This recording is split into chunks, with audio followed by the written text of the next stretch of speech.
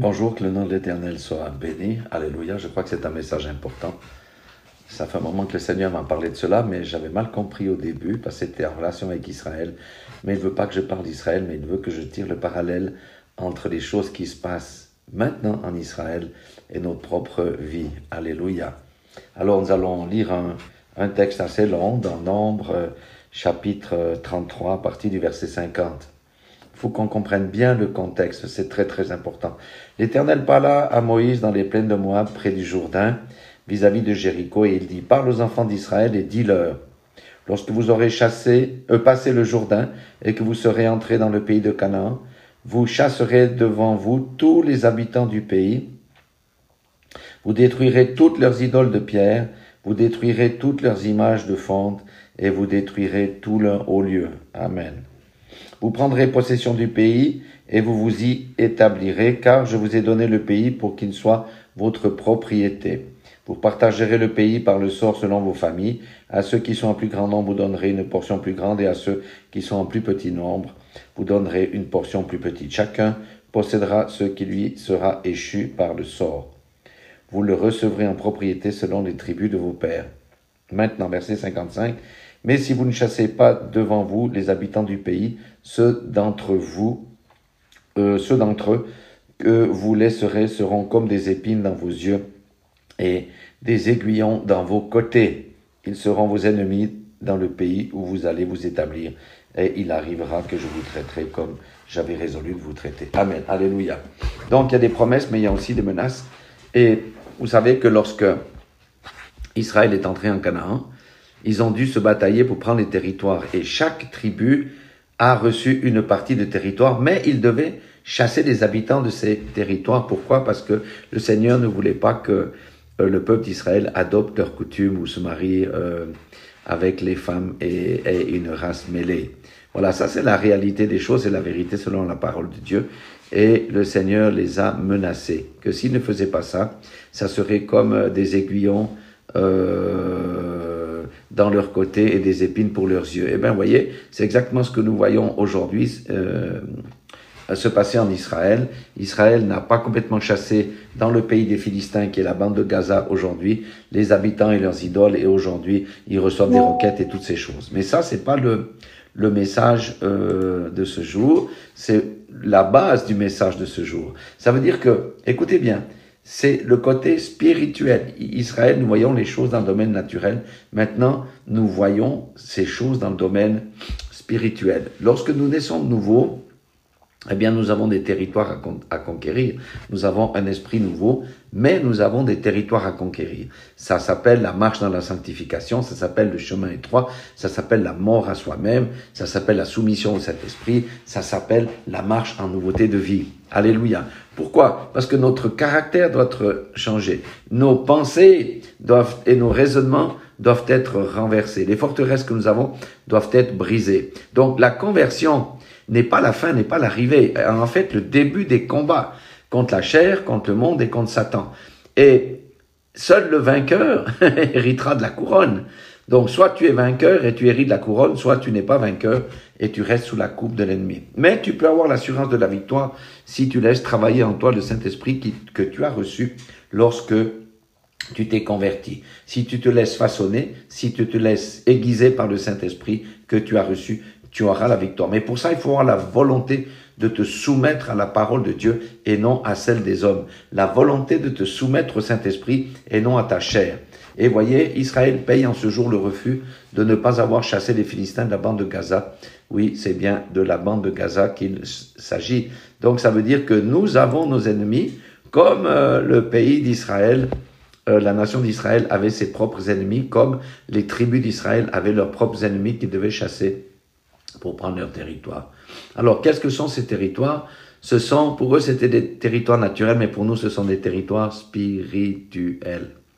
Alors, vous allez comprendre ça tout de suite. J'en ai, j'en ai tiré une dizaine. Hein, c'est pas exhaustif, mais pour vous montrer. Aujourd'hui, nous vivons dans une euh, dans une génération perverse dans un monde perverti, dans un monde hypersexué. Le premier territoire que le chrétien doit convertir, le nouveau converti, que le, le premier territoire que le nouveau converti doit conquérir, c'est la pureté.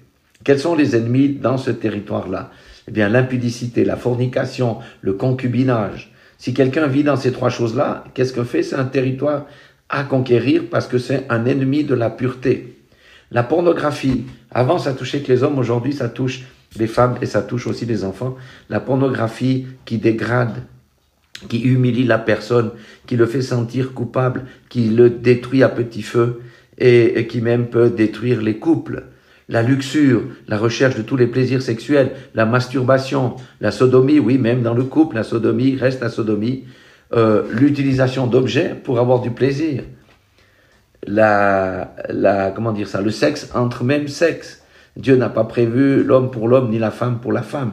La recherche de la sensualité à tout prix. Aujourd'hui, ce sont les ennemis euh, pour le territoire de la pureté. Nous avons un territoire à, à, conquérir. Certains n'ont rien dans ce que je viens euh, euh, d'évoquer. D'autres, c'est peut-être euh, la fornication. D'autres, c'est peut-être l'adultère. D'autres, c'est peut-être la pornographie. Ce sont des choses qu'on doit combattre parce que ce sont les choses qui nous détruisent. Et si nous ne traitons pas la pureté, eh bien, nous n'hériterons pas du royaume de Dieu. Parce que la Bible dit que ceux qui ont le cœur pur verront Dieu, je crois. Quelque chose comme ça. Alléluia. Donc la pureté est un gros territoire que nous devons conquérir. Bien sûr que ces choses-là se font pas à pas. Être délivré de la pornographie, c'est pas euh, c'est dimanche soir j'ai décidé et lundi je suis euh, délivré. C'est un processus. Néanmoins, chacun doit connaître ce qu'il y a dans ce dans ce territoire-là et qui le combat. Bah, s'il le combat pas, ça sera comme pour Israël. Il va combattre et te mettre à genoux. Alléluia. Le deuxième grand territoire, c'est la langue. Dans la langue, nous trouvons la médisance, nous trouvons les critiques, nous trouvons les jugements, nous trouvons les divisions, nous trouvons les querelles, nous trouvons le rabaissement, le dénigrement de l'autre, nous trouvons la, la méchanceté. Est-ce que vous savez que la langue tue? Oui, la langue tue. On peut tuer la réputation de quelqu'un. On peut tuer quelqu'un avec notre langue. Alléluia. Donc, euh, la langue est un gros truc, un gros territoire que chacun doit conquérir. Oui, moi j'ai été euh, euh, pendant longtemps ma foi, un médisant, un critiqueur, et juger les autres parce que je m'estimais meilleur. Oui, la langue tue. Quand on a compris que la langue tue, on va tout faire pour que le Seigneur nous aide à nous débarrasser de toutes ces choses-là. Et vous savez que euh, Dieu est un Dieu d'unité, pas un Dieu de division. La querelle ne vient pas de Dieu, la division ne vient pas de Dieu, le dénigrement non plus, la méchanceté non plus, la médisance et les critiques jugent non plus. Alléluia. Troisième territoire, les finances. Quels sont les ennemis qui sont sur ce territoire? C'est l'avarice, c'est la rapacité, la pas, la du gain, la pingrerie, l'amour de l'argent qui est la racine de tous les maux. Or, l'argent, nous devons comprendre que contrairement à l'Ancien Testament où les gens étaient propriétaires de, de leurs choses, nous sommes des intendants dans le Nouveau Testament. Alléluia. L'argent que j'ai, que je dispose, que Dieu me fait la grâce d'avoir, c'est aussi pour financer le royaume, c'est aussi pour aider le pauvre et l'indigent, c'est aussi pour ouvrir la main à celui qui a moins, c'est aussi pour partager euh, les finances à ceux qui ont besoin. C'est la manifestation de l'amour.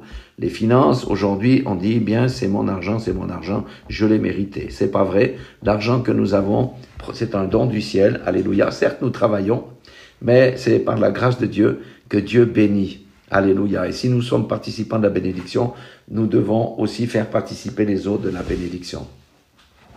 Le quatrième territoire que j'ai noté, c'est l'humilité. Ah là là là là. Ça, c'est un, gros territoire avec pas mal d'ennemis. Le premier ennemi, c'est l'orgueil, l'ego, la fierté. Hein, toujours vouloir être à la première place, être vu, être servi. Euh, c'est la suffisance, l'arrogance. C'est moi, je, moi, je. Là, sa propre justice, la recherche de la gloire personnelle l'amour de soi. J'ai prié, il a été guéri. Ah, moi je me lève la nuit, je prie trois heures.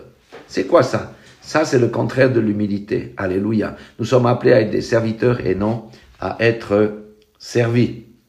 Voyez les choses que je vous dis ici, moi-même je me retrouve dedans, et chacun d'entre nous, on va se retrouver quelque part. Autrement, on serait déjà en train de flotter dans le ciel. Le cinquième euh, territoire à conquérir, c'est le zèle. Quels sont les ennemis dans ce territoire? Nos ennemis, c'est la paresse, c'est la négligence, c'est l'inattention, c'est la procrastination, c'est remettre au lendemain ce qu'on pourrait faire pour Dieu en ce jour. C'est la tiédeur, c'est la compromission. Alléluia. Et le diable a envoyé un esprit de compromission et de tiéreur dans le corps de Christ.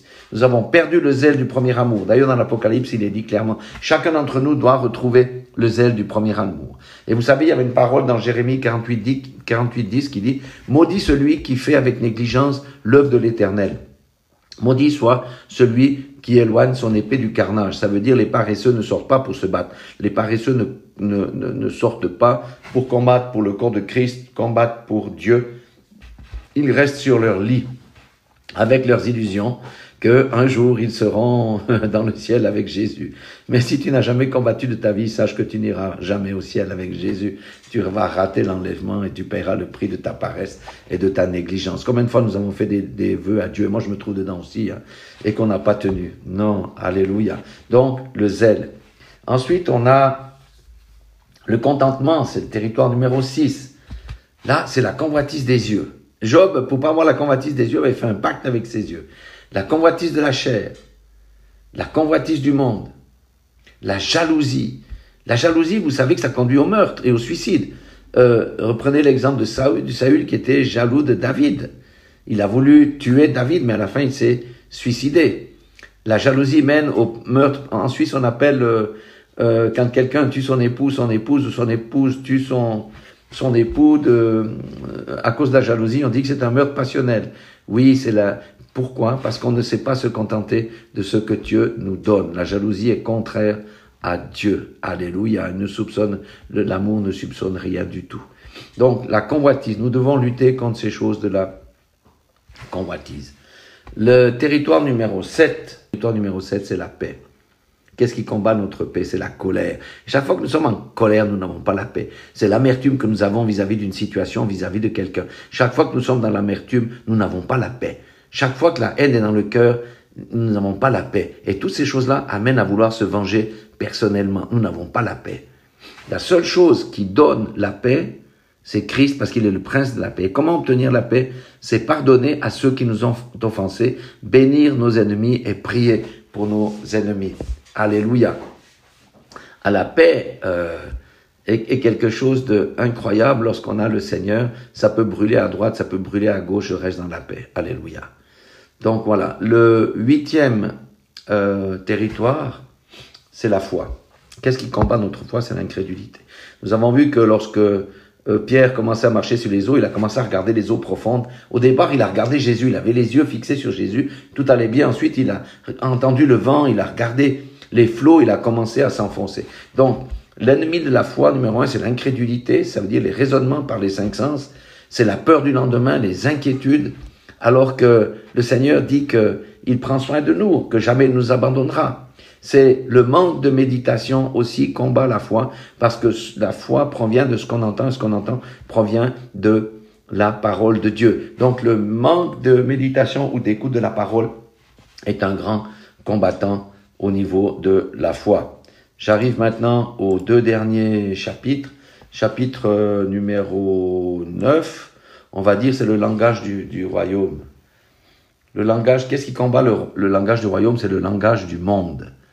Ma voiture, mon scooter, ma maison, mon église, ma réussite, mon argent, ma, mon, ma, mon, ma, mon. Le langage du monde combat le langage de l'esprit. J'ai prié avec puissance et il a été guéri. J'ai prié avec puissance. J'ai, j'ai. Et à cause de ma prière avec puissance, il a été guéri. Non, ce n'est pas toi, c'est Jésus qui, l'a guéri. Donc tu peux dire, j'ai prié, Jésus l'a guéri. J'ai prié, le Saint-Esprit a agi. Alléluia. Le langage du royaume, c'est remplacer le je par il, Jésus, le Saint-Esprit, Dieu. Remplacer le ma et le mon par ça et son, car je ne suis plus le propriétaire de rien du tout, je suis son intendant. Alléluia. Pratiquons le langage du royaume. Le langage du royaume, c'est des paroles douces. Le langage du royaume, c'est toutes ces choses-là. Le dernier, j'ai pris pour la fin, territoire, c'est l'amour. J'aurais pu commencer par celui-là. Qu'est-ce qui combat l'amour? La dureté de notre cœur, notre insensibilité à autrui, le manque de compassion, l'égoïsme, les blessures intérieures, le sentiment de rejet. Ça, tout ça, ça nous empêche de manifester l'amour envers autrui, envers autrui. Alors, tous ces territoires-là, nous devons les conquérir. Chacun sait ce qu'il a dans son cœur, ce qui doit être guéri, l'ennemi qui doit être chassé.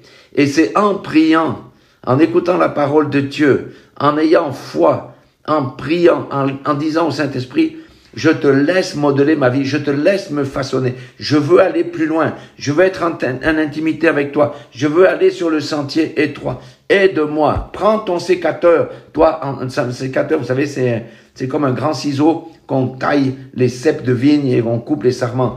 Taille-moi, émonde-moi afin que je porte du fruit. Change mon caractère. Je ne veux plus ce caractère-là. Voilà ce que je voulais vous partager aujourd'hui. Et je dis à quelqu'un aujourd'hui, tous les territoires qui ne sont pas soumis à Dieu, ce sont les ennemis qui vont vous combattre et vont mettre à terre, comme euh, euh, les ennemis d'Israël sont en train de se rassembler aujourd'hui. Alléluia. Parce qu'ils n'ont pas respecté l'ordre de Dieu de chasser les ennemis de leur territoire. Eux, c'était les ennemis naturels. Nous, c'est les ennemis spirituels. Alléluia. C'est pourquoi nous devons nous atteler vraiment à faire notre examen de conscience, à regarder les choses qui doivent être euh, euh, jetées hors de nos vies. Et c'est pour ça que nous avons les armes spirituelles d'Éphésiens 6 pour combattre et avoir la victoire. Et lorsque le combat est trop fort, c'est les deux genoux, c'est les genoux, l'intercession au Seigneur pour qu'il me délivre, qu'il nous délivre de tel ou tel point dans notre vie. Et le Seigneur va faire parce qu'il va considérer votre volonté et votre, il a vu votre soif, il a vu ma soif, il a vu votre faim, il a vu ma faim, et il va dire, ah, le petit là, je vais le dégager. Et il va décharger ce fardeau de mon épaule. Voilà ce que je voulais partager avec vous. Soyez tous bénis dans le nom puissant de Jésus-Christ de Nazareth. Et rappelez-vous que être chrétien, c'est le début d'une vie de combat avec des victoires, beaucoup de victoires, de temps en temps une défaite. Mais comme dit l'adage, l'adage, hein, euh, j'ai eu une défaite, mais je n'ai pas perdu la guerre. Pourquoi? Parce qu'avec Christ, je suis toujours vainqueur.